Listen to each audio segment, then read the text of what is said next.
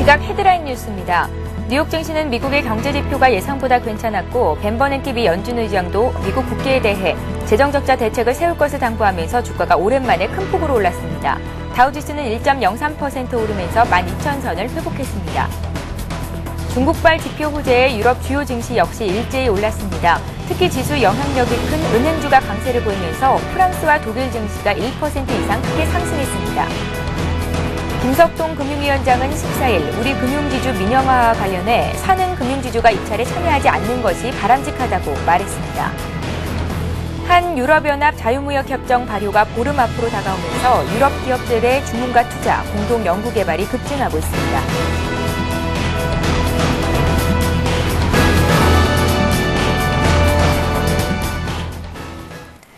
시청자 여러분 안녕하십니까. 굿모닝 대박예감 3부 시작합니다. 밤사이 마감한 뉴욕 증시와 전일 우리장 분석해보고 오늘 꼼꼼한 실전 투자 전략자 보는 시간인데요. 오늘의 대박 전략 역시 김성남 대표 그리고 정태근 전문가와 함께 하겠습니다. 안녕하세요. 네, 반갑습니다. 예. 자, 어제 코스피 지수가 이달 들어서 가장 큰 폭으로 상승을 했었습니다. 어떤 이슈들이 있었는지 먼저 외국인과 기관이 가장 많이 사고 팔았던 종목들부터 정리를 해보겠습니다. 네, 어제 참 반가운 그런 그 상승세가 좀 나왔습니다. 네. 자, 이제 어제와 같은 그 상승세 중에서 외국인이 가장 많이 매수한 종목부터 살펴보도록 하겠는데요. 자, 외국인은 LG 정말 반가운 반등이 아닌가 싶습니다. 그러는 와중에도 LG전자는 또 밀렸습니다만 일단은 LG에 대해서 외국인이 매수를 했다라는 점 좀 참고하시기 바라고요. 하나케미칼은 외국인과 기관이 양 매수가 들어왔습니다. 나름대로 6%대의 어, 강력한 상승세가 보였죠. 자, 세 번째는 한국타이어입니다. 한국타이어도 어, 급락에 따른 일단은 반등 매수인지도 모르겠습니다만 일단 8% 넘게 급등하는 그런 흐름이 나왔습니다. 자, 네 번째는 LG 디스플레이고요. 다섯 번째는 삼성중공업입니다. 자, 기관 살펴보겠습니다. 기관은 한화케미칼 그리고 기아차, 현대중공업, 현대차, 어, 대림 산업에 대해서 강력한 매수가 들어왔습니다. 자, 매도한 종목도 살펴보도록 하겠는데요. 자, 외국인은 기관이 어, 매수 상위로 올려놨던 대림 산업이 가장 많이 매도한 종목으로 올려놨네요. 대림산업이고요. 두 번째는 삼성전자, 그리고 신세계, 현대중공업, NHN 순서로 일단은 매도를 했습니다. 그리고 기관 살펴보도록 하겠습니다. 자, 기관은 LG전자, LG디스플레이, SKCNC, LG 고려 아연에 대해서 매도를 했는데요. 아, 기관이 이 LG 그룹에 대해서 무슨 원한이라도 있는지 모르겠습니다. 이렇게 LG 그룹주들에 대해서 전반적으로 매도를 한 흐름이 나왔습니다. 예, 외국인들은 신저가를 기록하고 있는 종목들 주가 낙폭이 과대했다라는 평가 아래 LG라든지 LG 디스플레이는 사 담는 모습을 보인 것도 역시 특징적이었다라고 볼 수 있겠습니다. 기관은 LG 그룹주를 여전히 팔았고요. 자, 이번에는 코스닥 쪽 살펴보죠. 코스닥 지수도 상승을 했는데 외국인과 기관이 샀던 종목들 그리고 특징적이었던 부분 들 정리를 해보겠습니다. 네. 어, 일단 외국인 쪽 순매수 종목들 한번 살펴보도록 하겠습니다. 네. 어, 금액 기준으로 봤을 때 외국인 순매수 어, 상위 종목을 한번 살펴본다면 어, 고영, 다음 파라다이스, 오성 LST, 실리콘웍스 순으로 매수를 했고요. 어, 기관 쪽은 골프존, 네오위즈 게임즈, 셀트리온, 성광벤드, 어, 에이스 디지텍 순으로 매수를 했습니다. 어, 그래서 코스닥 시장 특징적인 부분과 그리고 특징 테마를 또 한번 살펴본다면 어, 전일 코스닥 시장 같은 경우는 외국인과 기관이 매도를 했음에도 불구하고 개인들이 매수에 나서면서 어, 상승 마감하는 모습을 보여줬습니다. 그래서 0.9% 상승한 462점, 462.29포인트를 기록을 했습니다. 특징 테마를 한번 살펴 본다면 음, 수수 모멘텀이 본격화될 것이란 전망과 그리고 단기 급락에 대한 반발 매수로 인해서 AP 시스템, 주성 엔지니어링 같은 AMOLED 관련주들이 강세를 보였고요. 그리고 어, 전일 통신업 업계와 그 카드 업계가 근거리 무선 통신 기술을 활용한 모바일 결제 서비스를 활성화하기로 했다는 소식에 근거리 무선 통신 관련주인 파트론 그리고 KBT가 강세를 보이는 모습을 보여줬습니다. 예, 자 이제 오늘 국내 증시에 영향을 미칠 만한 글로벌 증시 마감 소식 그리고 이슈들 체크해 보겠습니다. 어, 중국과 미국의 양호한 경제 지표가 발표가 되면서 지수가 상승했다라고 평가를 하고 있던데요. 미국 증시가 1%대로 크게 올랐고 유럽 증시도 프랑스, 독일 증시가 1% 이상 올랐습니다. 어떤 이슈들이 있었습니까? 예, 예. 어, 그, 이전에 제가 그 미국의 무역 특사를 말씀드리면서 시장이 좀 호재 목말라 했다고 말씀드렸는데, 예. 어, 일단 이런 경기 지표가 좀 개선이 되다 보니까 그런 부분에 좀 강하게 반응하는 모습을 보여줬습니다. 어, 유럽 증시는 일단 장, 장 초반 강세 어, 출발했습니다. 제가 어제 어, 그리스의 신용등급 하향 조정이 조금 악재가 될 것이라고 말씀드렸는데 그런 부분이 좀 중국의 어, 경기 지표가 개선이 되면서 이겨, 기- 어, 경기 지표가 개선이 되면서 그 부분이 어, 그리스의 신용등급 하향 조정을 이겨내면서 상승 출발했습니다. 그래서 중국의 5월 산업 생산이 예상치인 13.1%를 상회하는 소폭 상회하는 13.3%를 기록했다는 소식에 어, 좀 호재가 됐습니다. 그래서 긴축에도 불구하고 중국의 성장 모멘텀이 여전히 유효, 여전한 것으로 여전히 어, 유효한 것으로 분석이 되면서 호재가 됐었습니다. 그래서 어, 이런 중국의 경기 지표 그리고 그 미국에서 발표된 소매 판매 그리고 생산자 물가 지수가 예상치보다 좋지 않았지만은 아, 시장의 기대치보다는 좋지 않았지만은 이제는 개선이 되고 있다는 부분이 조금 호재가 되면서 상승 마감하는 원동력이 됐습니다. 그래서 특히나 독일 증시 같은 경우에는 119포인트 상승한 1.68% 상승 마감하는 또 모습을 보여줬습니다. 어, 그래서 어, 업종별로 봤을 때는 광산주 그리고 은행 광산주의 상승폭이 상당히 눈에 띄었고요. 아무래도 중국의 어, 산업 생산이 개선이 되면서 어떤 그 세계 원자재 수요가 다시 한번 늘어날 것이라는 부분이 광산주의 호재가 됐었고요. 그리고 어 은행주가 또 은행주가 또 상승했다는 부분이 조금 특징적이라고 좀 말씀드려야 될 것 같습니다. 그래서 다음은 미국 증시를 한번 넘어가서 또 말씀을 좀 드려본다면 예. 미국 증시도 마찬가지로 좀 급등 출발했습니다. 유럽과 마찬가지로 중국의 산업 생산이 호전을 보이 호전을 보인 것이 호재가 됐고요. 그리고 어, 마찬가지로 소매 판매 그리고 생산자 물가 지수가 개선이 된 것이 호재가 됐다고 말씀드려야 될 것 같습니다. 그래서 어, 소매 파- 소매 판매 같은 경우는 전월 대비 좀 악화되긴 했지만은 예상치보다 개선이 된 부분이 호재가 됐고요. 그리고 어, 생산자 물가 지수는 음, 생산자 물가 지수 같은 경우에는 조금 예상치보다 좀 소폭 상승했지만 이전 달보다는 소폭 소폭 하였다는 것이 호재가 됐다고 봐야 될 것 같습니다.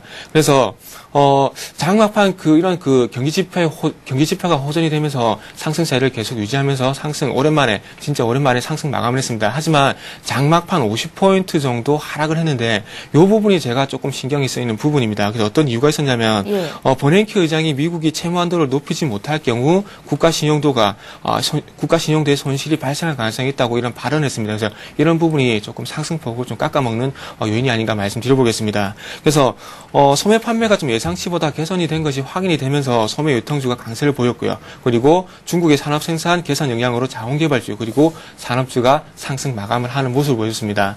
어, 그래서 다음은 어, 좀 전에 말씀드렸던 미국의 경기 지표만 조금 언급을 해보도록 하겠습니다. 먼저 음, 생산자 물가지수부터 한번 보도록 하겠습니다. 예. 그래서 미국 노동부 발표에 따르면 5월 미국의 생산자 물가지수는 전월 대비 0.2% 정도 상승을 했습니다. 하지만 어, 예상치인 0.1%를 상회했지만 전달 0.8% 상승에 대비해서는 상상, 상당히 어, 둔화된 것으로 확인이 되고 있습니다. 그래서 어, 그래프를 좀 같이 보면서 좀 말씀을 드린다면 자, 어, 2011년 2월 달 이후부터 2월달 어, 1.6% 상승해서 계속해서 지금 하락을 하고 있습니다. 제가 지난주에, 아, 제가 월요일 날 수입 물가 지수가 하락을 하면서 생산자 물가 지수도 조금 호전이 되고, 그리고 마찬가지로, 어, 소비자 물가 지수도 개선이 될 것이라고 말씀드렸는데, 지금 현재 그런 부분이 계속해서 개선이 되고 있는 부분이 확인이 되고 있습니다. 그래서, 어, 내일 발표될 소비자 물가 지수도 조금 호전이 되면서, 어, 인플레에 관한 우려감은 조금 해소가 될 것이라고 말씀드리고 싶습니다. 예. 그래서 원인을 한번 살펴보니까 식료품 가격이 하락을 했고요. 그리고 최근에 유가 상승이란 에너지, 에너-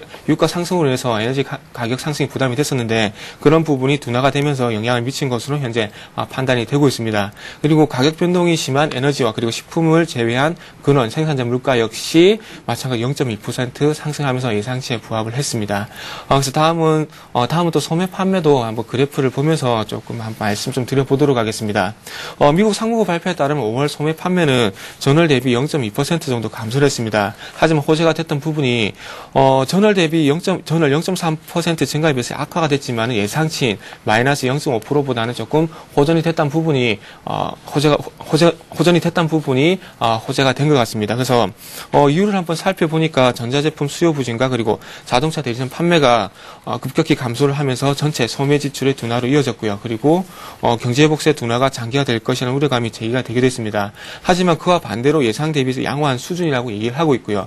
그리고 고유가 등에도 불구하고 소비 심리가 크게 위축되지 않은 것으로 해석이 되면서 어, 이런 부분 소매 판매가 그 소매 판매 부진은 단기에 그치고 이후에는 조금 상승적으로 돌아서 줄 것이라 얘기를 하고 있습니다. 어, 그래서 자동차 판매가 2.9% 급감한 부분이 가장 큰 영향을 미쳤습니다. 그래서 어, 이런 부분이 이제 고용이 좀 개선이 되고 그리고 일자리 수가 좀 늘어나면은 조금 개선이 될 수 있는 부분이기 때문에 시장에서는 좀 크게 염려하지 않는다고 어, 이렇게 말을 하고 있습니다. 예, 자 이번에는 어제 마감됐던 국내 아시아 증시 살펴보죠. 어제 국내 증시는 물론이고 주변국 아시아 증시 역시 1%대로 강하게 반등하는 모습을 보였었는데요. 이슈 정리해 주십시오.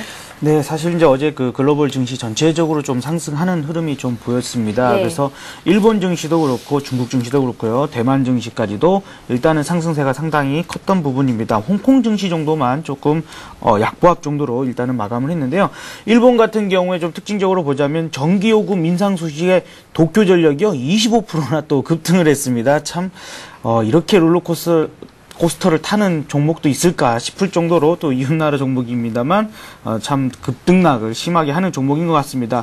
자 일단은 일본 증시가 1% 정도 상승을 하면서 9,547포인트 정도로 마감을 했는데요. 대부분의 업종이 좀 상승세를 보였습니다. 이제 그런 가운데서도 전기가스업이 8.79% 급등을 했고요. 은행업이 2%대, 금융업도 1.95% 그리고 부동산업도 1.79% 상승을 하면서 어, 지수 자체를 좀 견인했다고 볼 수 있습니다. 자, 중국 증시 보겠습니다. 중국 증시도 경제 지표 에 힘입어서 일단 상승 마감을 했습니다. 이 중국 증시의 그 주요 경제 지표가 예상보다 조금은 긍정적으로 나오면서 일단 상승 마감을 했다고 볼 수 있겠는데요. 중국 증시도 1.1% 어, 상승을 하면서 2,730포인트로 마감을 했습니다. 어, 대부분의 업종이 그 오른 가운데 부동산이 한 3.7% 가량 올랐고요. 어, 금융 보험업이 2.11 그리고 어, 그 건설업이 1.8% 정도 상승을 하면서 일단 상승세를 키웠습니다. 한 가지 좀 더 특징적으로 보자면 이 중국 인민은행이 한 달 만에 중국의 시중 은행들에 대한 지급 준비율을 0.5포인트 올리면서 올해 여섯 번째 지준율을 인상했다라는 것 참고를 하셔야 될 것 같습니다. 자, 대만도 5개월 만에 어, 1.33% 어, 상승을 하면서 어, 일단은 8,829포인트로 마감을 했고요. 홍콩은 22,496포인트로 약보합으로 일단은 마감을 했습니다. 자, 국내 증시 살펴보도록 하겠습니다. 자, 국내 증시도 상당히 좀 의미 있는 상승이 아니었나라고 좀 보여집니다. 다만 거래량이 좀 적었던 것이 좀 아쉬움이었던 것 같은데요. 자, 개인과 그 외국인은 또 매도로 나섰지만 기관이 이번에는 또 상승세를 키웠습니다. 또 프로그램 매수가 같이 동반이 되면서 일단은 지수가 좀 큰 폭으로 상승을 했던 부분이 있었습니다. 어, 일단 미국 증시에서의 그 그리스 추가 신용 강등에 따른 이 소식 때문에 이 상승폭이 좀 축소됐던 부분들이 있었습니다만은 미국 증시에서는요. 근데 이제 우리나라 지수 같은 경우는 일단은 어 그런 영향으로 인해서 일단 소폭 약세 출발했습니다. 그러나 이제 기관이 오전부터 지속적으로 사자를 나서면서 좀 지수를 견인을 했습니다. 그리고 이제 11시 정도였었죠. 이제 어 중국에서 CPI와 PPI 그리고 산업 생산 등 일단 경제 지표 쪽에서 이 어, 예상치에 부합하는 것, 그러니까 물가 인상 정도에 대한 부분들에 대해서는 그 예상치에 부합하는 부분 그리고 그 외의 부분들은 일단은 어, 이 예상치를 상회를 하면서 투자 심리가 상당히 호전되면서 지수의 상승폭을 어, 급격히 키우는 그런 흐름들이 좀 나왔습니다. 이 업종별로 어, 기존의 주도주였던 차화점 그리고 건설, 은행, 기계, 증권 업종까지도 그죠? 그동안 아주 뭐 많이 밀렸는데 이 증권 업종까지도 대부분 상승을 했습니다. 반면에 비 금속 그리고 어, 전기가스 의료정밀, 종이, 통신, 보험업종은 좀 소폭 하락하는 흐름을 나타냈습니다. 자, 조선주도 상당히 강세를 좀 보였는데요. 어떤 최근 주가 조정으로 인한 이 가격 매력도 생긴 데다가 중소형 조선주들의 또 수주 소식이 좀 이어졌었죠. 자, 그런 부분들에 일단은 그 호조, 호조로 삼성중공업, 대우조선해양, 현대중공업, 현대미포조선 등 이 관련주들도 동반 상승을 했습니다. 자, 그리고 얼마 전 이 우리 그 정태근 전문가님께서 또 강력 추천을 하셨던 그 세아 특수강이요 연속 이틀 동안 급등을 하는 그런 흐름이 나왔습니다. 이틀 동안 한15% 정도 급등을 했나요? 네, 이런 부분들이 전방 자동차 산업의 호황으로 자동차 산업 관련 비중이 70%가 넘는 이 세아 특수강이 이 부품 출하 증세 아, 그 증가세에 일단 힘이 보면서 강세의 흐름을 나타내면서 한 7% 넘는 급등을 했다라는 것도 참고를 하시기 바랍니다. 자 그리고 오시자에 고생하시는 분들 상당히 많으셨을 텐데요. 어, 이틀 동안 일단은 어, 상승을 유지를 했습니다. 그래서 5%가 넘는 상승세를 보였는데 일단은 폴리실리콘 가격이 어느 정도는 이제 하- 가격 하향 하향 안정이 예상된다라는 부분하고요. 동사가 그럼에도 불구하고 공격적인 그 설비 증설로 인해서 생산 능력이 확대됐고 또 고율 등이 부각이 되면서 일단은 반등에 나선 부분입니다. 자 코스닥 시장이 0.9% 상승을 하면서 어 460선을 회복을 했습니다. 최근에 아주 그 부진을 면치 못했었는데 일단은 보합권 출발한 이후로 상승폭을 확대를 했습니다. 사흘 만에 어, 큰 폭으로 상승을 마감을 했습니다. 기관 기관과 외국인의 매도에도 불구하고 개인의 이 저가 매수에 나서면서 460선을 회복했다는 것이 좀 큰 의미가 있겠습니다만은 다만 어 뭐라 그럴까요? 좀 거래량이 마찬가지로 좀 적다라는 부분들이 조금은 아쉬운 부분입니다. 통신 서비스, 운송 장비, 종이 그리고 음식료, 기계 출판, 운송 업종들이 좀 대부분 상승을 했고요. 반면 방송 서비스, 일반 전기전자, 인터넷 주들이 좀 약세 마감을 했습니다. 예. 자, 이렇게 해서 국내 아시아 그리고 좀 전에는 미국과 유럽 쪽까지 정리를 좀 해봤습니다. 지금 시각이 12시 13분을 넘어가고 있는데요. 어, 각 증권사들은 오늘 어떤 리포트 내용들을 내놓고 있을지 여의도 리포트 그 내용 살펴보고 가겠습니다.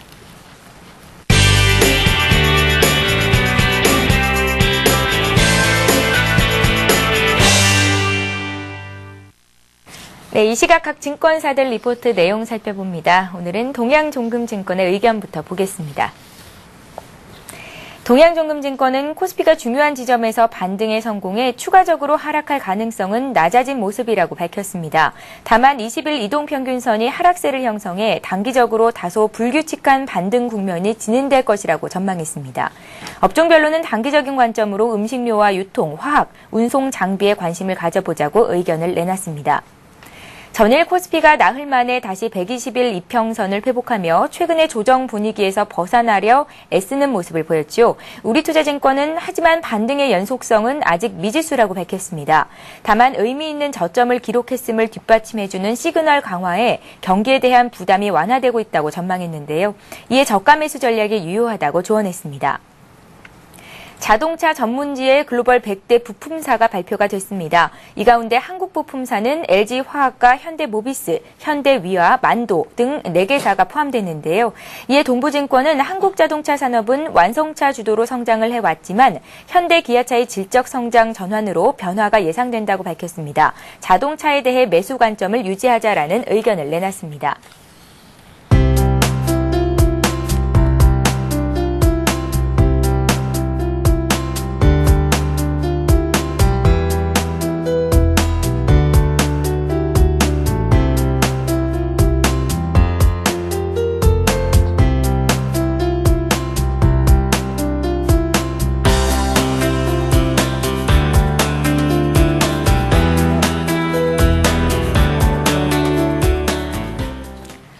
예, 오늘은 한양증권으로 가보겠습니다. 리서치센터의 전소영 연구원 전화로 만나봅니다. 안녕하세요. 네, 안녕하세요. 예, 오늘 한양증권은 어떤 투자 전략을 제시하고 계신지 들어보겠습니다.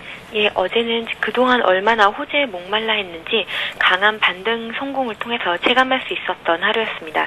전일 글로벌 증시는 중국의 경제지표 선전에 힘입어 대부분 강세 마감했는데요.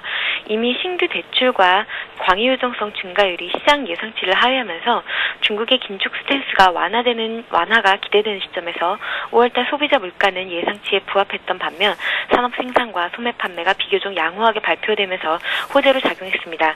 비록 장 마감 후에 중국 인민은행이 지준율 인상을 발표하면서 여전히 추가 긴축 가능성이 열려 있다라는 것을 확인을 했고 글로벌 경기 둔화를 부- 어, 경기 둔화 우려를 불식시킬 정도의 경제 지표 발표는 아니었지만 여전히 중국의 긴축 완화 그리고 연착륙 기대감은 경기 우려로 위축되었던 투자 심리 개선에 일조했습니다.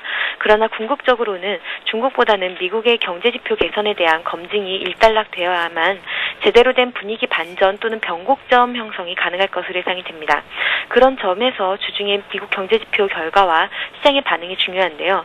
13일 기준으로 컨센서스 상 5월달 소매 판매 그리고 6월달 미시건대 소비자 심리 지수를 제외하면은 5월달 산업 생산과 경기 선행 지수는 소폭 개선될 것으로 형성이 되어 있습니다. 전반적으로 뭐 흡족할 만한 수준은 아니지만 낮아진 눈높이를 감안했을 때 더블 DB 아닌 소프트 패치 신뢰도를 높이면서 지지선 확보와 그리고 반등 시도에 도움이 될 것으로 예상이 됩니다. 시티그룹이 제공하고 있는 미국 경제지표 surprise index를 통해서도 경기에 대한 시장의 기대치가 낮아져 있음을 확인할 수가 있는데요. 2008년도 금융위기 이후에 최저치를 기록한 상태에서 반등 시도가 나타나고 있는데 경제지표 부진에 따른 어, 부정적인 영향력이 정점을 지나고 있는 것으로 판단이 됩니다. 앞으로는 이제 고용과 주택 소비로 이어지는 미국 경제의 자생적 선순환이 확인되기까지는 상당히 시, 어, 상당한 시간이 필요해 보이지만 더블립 우려 역시 지나친 기후였다라는 이런 자기 성찰이 안도감을 제공할 수 있을 것으로 보입니다. 수급적으로도 안전판 역할을 담당하고 있는 연기금은 물론 지식경제부 산하 국가기관으로 분류되고 있는 우정사업본부의 자금 유입 그리고 추가 집행 가능성도 급격한 조정을 제한하는 버팀목이 될 것으로 판단이 되고 있습니다. 종목 접근에 있어서는 지금처럼 변동성이 큰 국면에서는 낙폭 과대주의 위주의 trading이 효과적이겠지만 경기 회복세가 뚜렷하지 않기 때문에 실적에 입각한 선택과 집중 이 보다 강화될 것으로 예상이 되고 있습니다. 경기 둔화 논란에도 불구하고 2분기 실적 호전이 기대되고 있는 자동차, 화학, 정유 등이 유리한 매매 조건을 갖추고 있다는 판단입니다. 예, 한양증권 리서치센터의 전소영 연구원 의견 들어봤습니다. 고맙습니다. 네, 감사합니다.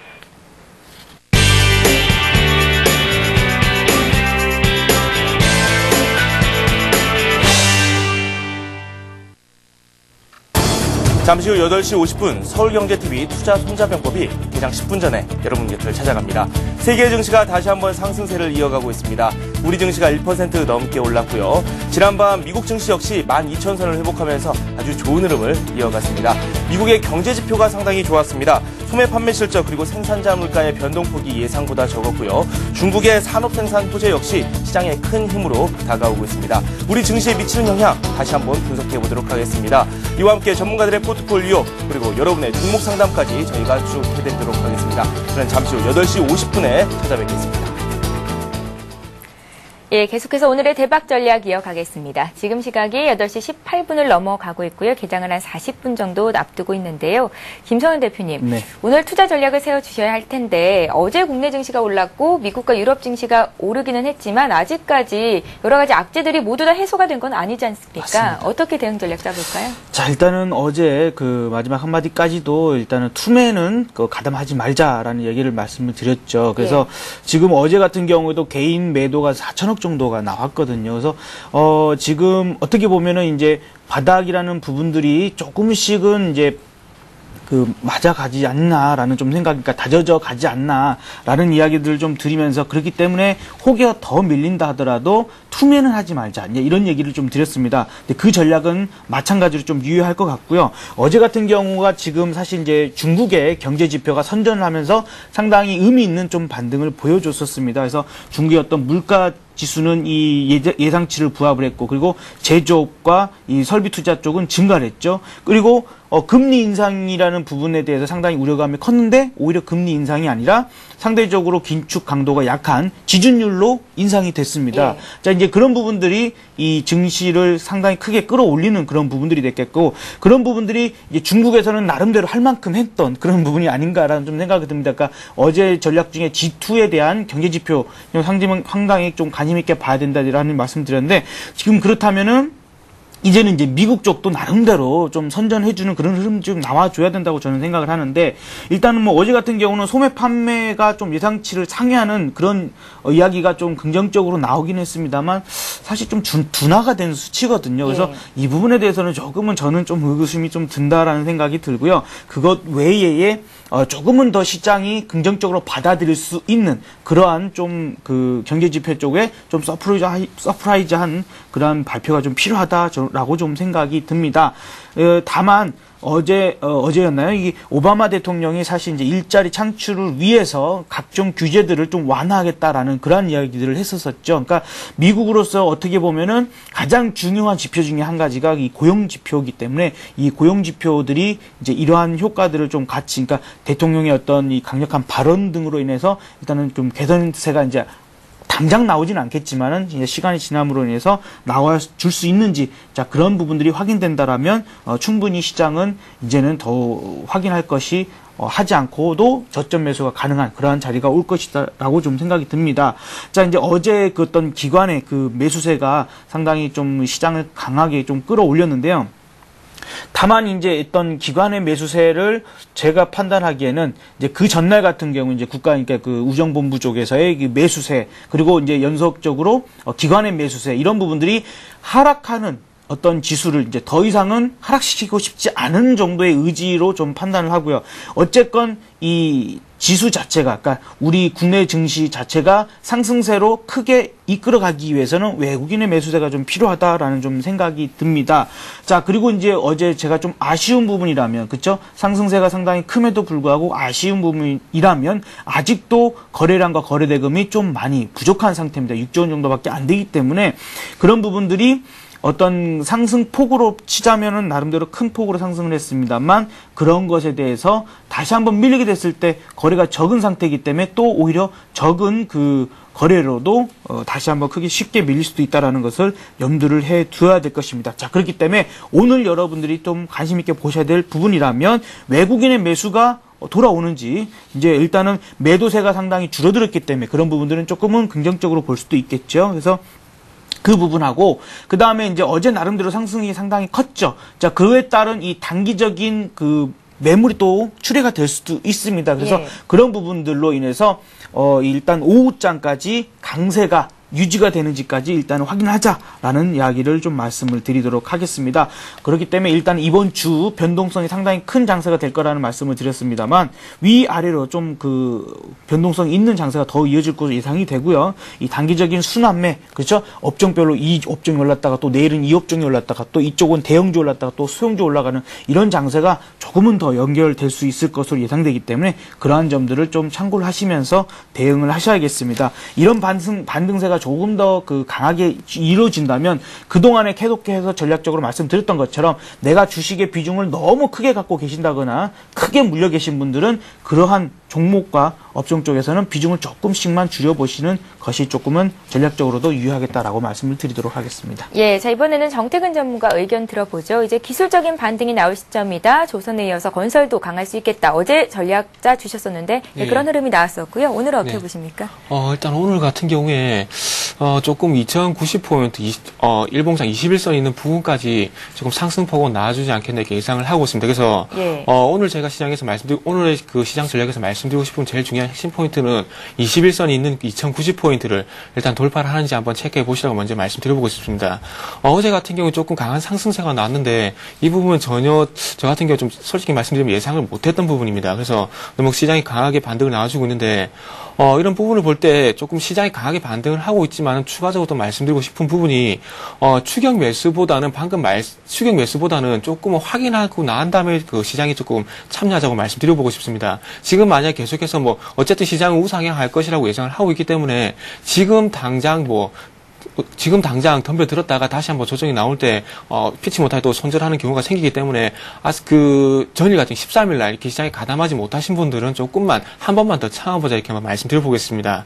어, 그래서, 어, 그래서 조금 한번 염려스러운 부분이 있다면 13일, 14일, 13일 어제와 그리고 그저께죠. 그저께 같은 경우에 어, 조금 그 시장의 호적, 시장의 그 호재 부분도 있었지만은 제일 큰 영향은 외국인들의 강한 선물 매수가 유의되면서 시장이 좀 반등을 보였습니다. 그래서 어, 시장이 좀그 외국인 쪽에서 선물 매수 계약 우위를 보이다 보니까 그로 인한 프로그램 매수도 같이 유발이 되면서 시장이 올라간 부분은 무시할 수가 없습니다. 근데 어, 화면을 조금만 보면서 조금 말씀 좀 드리겠습니다. 자, 조금 전에 제가 말씀을 좀 드렸듯이 어, 일봉 차트에서 보실 때 일단은 그 쌍바닥에 관한, 관한 가능성 한번 말씀드렸었습니다. 근데 이 부분을 일단은 21선을 돌파해준지 한번 여부를 봐야 될 것 같고요. 근데 이 부분을 중요하게 봐야 될 부분이 어, 5월 31일 같은 경우에 조금 강하게 돌파를 해줬지만 이후에 다시 한번 회귀를 했습니다. 그래서 21선을 다시 한번 강하게 돌파를 해줘야 추세적으로 이전과 이 3월달과 3월달 그런가 마찬가지로 강하게 돌파해줄 수 있지 만약 21선에서 다시 한번 부딪히게 된다면은 어, 2040, 2035포인트, 2040포인트 위에서 다시 한번 바닥을 다지는 흐름이 나올 수가 있기 때문에 요 부분을 돌파하고 난 뒤에 조금 지켜주는 흐름이 나올 때 조금 따라가보자는 말이지 지금은 추격 매수할 자리는 아니라고 좀 말씀드리고 싶습니다. 예. 그래서 수급 조금 전에 말씀드렸던 외국인의 수급 부분도 조금 말씀 좀 드리자면 자 어, 제그 매매 동향입니다. 매매 동향인데 지금 현재 보시면 외국인 쪽 선물 매수가 유입이 된 부분이 있습니다. 근데 장중 보시면은 3시 아, 아 3시가 아니죠. 1시를 기점으로 해서 외국인의 이 빨간 선이 외국인의 선물 매매 동향입니다. 근데 보시면은 어, 4천 계약을 어, 고점을 해서 1,300개까지 줄어들었습니다. 근데 이이 부분이 빠져나가면서 시장이 꺾이지 않은 이유는 프로그램 매수에 있다는 겁니다. 지금 현재 화면을 보시면은 프로그램 매수가 11시 이후에 다시 한번 유입이 되면서 외국인들 선물이 빠져나갔지만은 프로그램 매수가 유입이 되면서 시장을 받쳐줬다는 겁니다. 예. 그렇다면 만약에 어, 외국인의 선물이 조금 외국인의 선물 어, 선물 동향이 조금은 어, 부진하거나 만약에 매도로 전환하게 된다면 21선을 저항으로 해서 시장이 밀릴 수가 있기 때문에 그런 가능성도 한번 염두에 두시는 게 좋을 것 같기 때문에 일단 추격 매수는 자제하고 조금 한번 기다려 보자는 이유는 저 여기 에서 나온다고 한번 말씀드려봐야 될 것 같습니다. 어, 그래서 어, 시장이 좀 반등이 이어진다면 전일과 마찬가지로 제가 건설 쪽에 한번 관심, 관심을 가져보라 말씀드렸는데 마찬가지로 조선, 건설, 자동차, 석유, 화학 쪽으로 한번 관심을 가져보는 게 좋을 것 같고요. 그래서 어, 중국의 산업 생산 영향으로 인해서 우리나라 비철금속 관련주도 조금 강세를 보이지 않겠나 어, 조금 예상이 되는 부분입니다. 그래서 고려아연, 뭐 풍산 같은 종목들이 조금 강세를 보일 가능성이 크다 이렇게 말씀드려야 될 것 같고요. 그래서 어, 조금 그 마지막으로 조금 관심 종목에 대해서 좀 말씀을 좀 드리자면 현대 하이스코 그리고 현대차 그리고 대림산업 SK 이노베이션 후성 금호석유 어, 이렇게 말씀 좀 드려보고 싶습니다. 그래서 방금 말씀드린 종목들은 그 딴 게 없습니다. 자동차 중에서도 뭐 괜찮은 종목 그리고 건설 쪽에서도 괜찮은 종목 그리고 정유주 그리고 어, 석유화학주 중에서 어, 기술적 반등으로 봤을 때 반등이 좀 더 추가적으로 이어질 가능성이 있는 종목들이기 때문에 어, 일단은 단기에 접근을 하시고 수익이 난 부분이 있으면은 계속 가져가지 마시고 이전에 제가 2140포인트 에서 그랬듯이 수익이 난다면 절반의 수익 실현을 하시고 난 다음에 이후의 흐름을 한번 체크해 보시는 게 좋을 것 같습니다. 예, 잘 알겠습니다. 자, 이제 종목 얘기를 해보죠. 관심 종목 들을 차례인데 오늘 김성남 대표께서 두 가지 종목을 들고 나오셨죠? 네. 예. 사실 어제 좀 그 단기 종목으로 보실 만한 종목으로 뭐 구경 GNM이나 아인스 그리고 젠트론 뭐 나우콤 이렇게 네 가지 종목을 말씀을 드렸는데 어 사실 저희만 이렇게 매매하다가 뭐 구경 GNM 같은 경우는 또 상한가를 갖고 아인스 같은 경우도 장중 급등이 좀 나오는 흐름 그리고 젠트로까지도 아 6%가 넘는 그 상승이 나오면서 좀 많이 죄송스럽더라고요. 그래서 예. 안 되겠다 싶어가지고 오늘은 두 종목을 좀 가지고 나왔습니다. 근데 그런 부분에 어떻게 보면 어제 대형주가 상당히 큰 폭으로 상승을 했음에도 불구하고 아직도 이제 이런 그 중소형 주들도 상승세가 크다라는 부분들이 일단은 시장 자체도 아직까지도 중소형주 좀 더 볼 수 있는 장이 아닌가라고 생각이 듭니다. 자, 그래서 오늘은 어제 말씀드렸던 종목 중에 일단은 젠트로라는 종목을 어, 좀 더 말씀을 드리도록 하겠습니다. 첫 번째 종목은 젠트로가 되겠는데요. 플라스틱 제품 그리고 수체리 환경 관련 제품 제조 업체입니다. 그러면서 어, 지난번에도 한번 장마 관련돼서 한번 이제 관심 있게 볼만한 그 조- 업종과 그 종목 그러니까 업종 쪽을 좀 이렇게 말씀을 드렸던 것처럼 어, 이 어떻게 보면은 이 구제역에 따른 이 이 침출수 유출이랄지 어떤 이 수처리 관련된 부분들이 조금은 부각될 수 있을 것으로 예상이 되는데 그런 흐름과 좀 맞물리면서 좀 상승이 조금씩 나오는 게 아닌가 바닥을 좀 돌파하는 그런 흐름이 나오는 게 아닌가 좀 싶습니다. 그래서 사실 이 종목도 어제 이제 그 5일선 그러니까 어 구경 GM도 마찬가지였지만 5일선 대응을 이제 들어가는 종목이었거든요. 근데 나름대로 지금은 이제 동시효과 상황에서는 조금 상승으로 좀 시작하려고 합니다만 이제 바로 쫓아가지 마시고요. 어, 시초가 이하로, 그러니까 시초가부터 어, 이하로 내려왔을 때 매수를 하자라는 생각으로 일단은 그 가격 밴드를 이제 요 정도 선으로 잡으시면 될 것 같습니다. 그 전날 시가와 그 전날에 또 종가 정도 부근인 어, 3,200원 정도까지 분할적으로 담아 보시고요.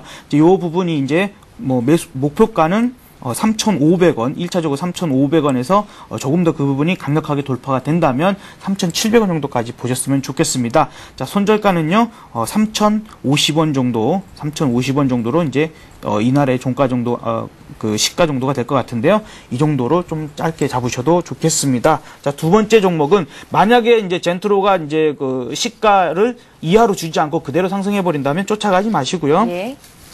코엔텍 정도로 코엔텍이에요. 예, 다시 이제 이쪽으로 좀 접근을 하시는 게 좋겠습니다. 자, 그래서 코엔텍은 후성그룹 계열의 폐기물 처리 전문 업체고요.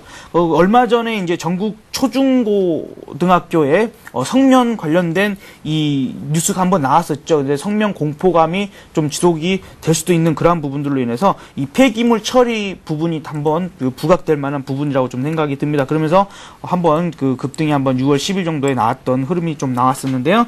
자, 그 부분과 또 현대중공업이 지분을 한 10.88%를 가지고 있어서 이 코인텍의 2대 주주입니다. 나름대로 그러다 보니까 한 번씩 그 대선 관련된 이야기가 나올 때 조금씩 같이 부각되는 부분도 있다는 거 참고를 하시기 바랍니다. 자, 그래서 코인텍은 어, 매수가는 시초가 이제 뭐 마이너스 출발해주면 더 좋겠다라는 생각이 드네요. 그래서 시초가에 매수를 해보시기 바라고요. 목표가는 2,000원 정도 로만 좀 짧게 잡도록 하겠습니다. 2,000원 정도. 그러나 이제 마이너스 시작하게 되면 이것도 한 7, 8% 이상 상승이 되겠죠. 자, 2,000원 이상으로 목표가를 잡아보고요. 손절가는 어, 1,780원으로 짧게 잡도록 하겠습니다. 예, 젠트로에 더불어서 코엔텍 모두 짧게 대응할 만한 종목으로 주신 거니까요. 꼭 손절가 잘 지키시고, 지키시고 매수가도 어, 장 초반에 어떻게 시작할지 잘 한번 체크를 해보시기 바랍니다.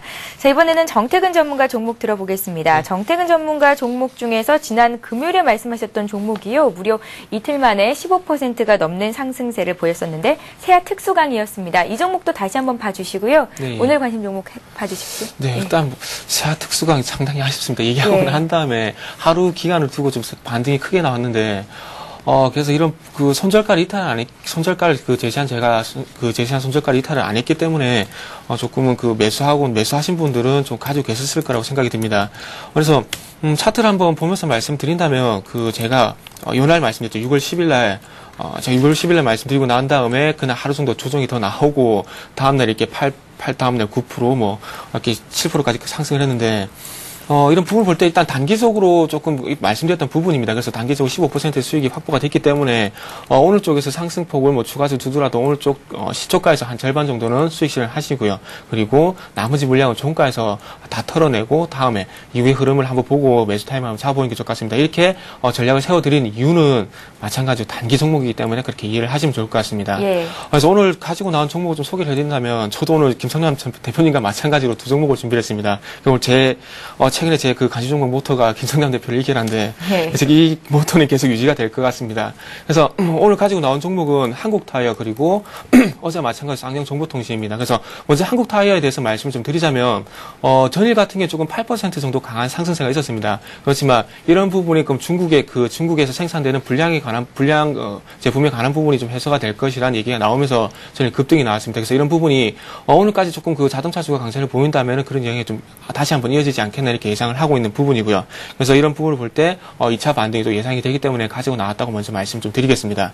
자 그래서 어, 차트를 보면서 조금 말씀을 좀 드리자면 자, 어제 같은 경우 조금 전에 말씀을 드렸듯이 어, 9% 정도 좀 강한 상승을 보였습니다. 그래서 어, 전일 9% 정도 상승했는데 또 강한 반등이 나오겠네 이렇게 생각하시는 분 분명히 계실 겁니다. 하지만 이전에 한번 사례를 본다면은 4월 13일 같은 경우에 한9% 정도 상승했습니다. 하지만 2차 다음날 보시면 아시겠지만 2차적으로 반등이 나왔었습니다. 그래서 저는 이런 반, 2차 반등을 예상하고 있기 때문에 저좀 가지고 나왔고요. 그래서 어, 일단 오늘 쪽에서 한 5% 정도 상승폭이 나오지 않겠나 예상을 하고 있습니다. 그래서 오늘 매수가를 조금 말씀을 드리자면 42,000원에서 42,500원 정도 사이에서 한번 매수해 보는 게 좋을 것 같고요. 그리고 목표가는 일단 전고점 부분인 45,500원에 일단 설정을 하도록 하겠습니다. 손절가는 마찬가지로 어, 60일선이 있는 60일선 이탈하는 어, 60일선 이탈할 경우 손절해야 되는데 이 가격대는 4만 정도 된다고 말씀드리겠습니다.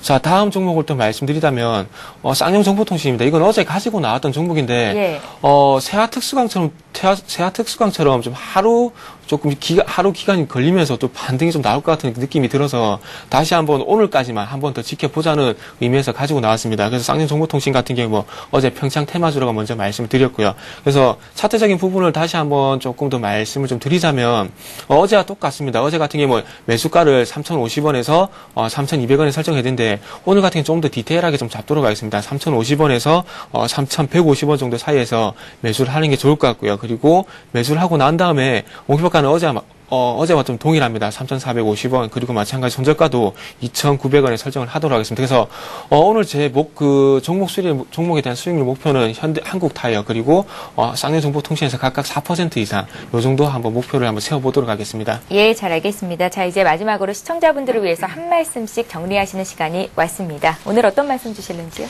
자, 나름대로 어제 그 글로벌 전체적인 이 상승세가 나오다 보니까 예. 이 회- 어, 투자 심리가 어느 정도 조금씩은 회복되는 그러한 기미가 보일 것 같습니다. 그래도 그렇다 하더라도 일단은 우리가 돌다리도 두드려가는 그러한 지혜가 아직까지 좀 필요한 시점이라고 생각이 들기 때문에요. 이제 그런 부분들 좀 확인할 것도 확인하시면서 점차적으로 대응해 나가시는 게 좋겠습니다. 예, 정태근 전문가도 한 말씀 정리해 주십시오. 예, 예.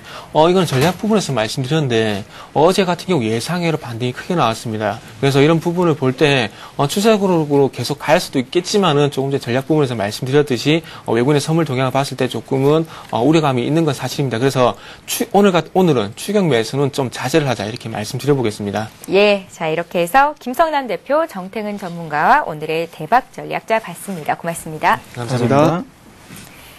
예, 굿모닝 대박 예감 3부는 여기서 마칩니다. 저희는 내일 오전 5시 59분에 다시 오겠습니다. 시청해주신 여러분 고맙습니다.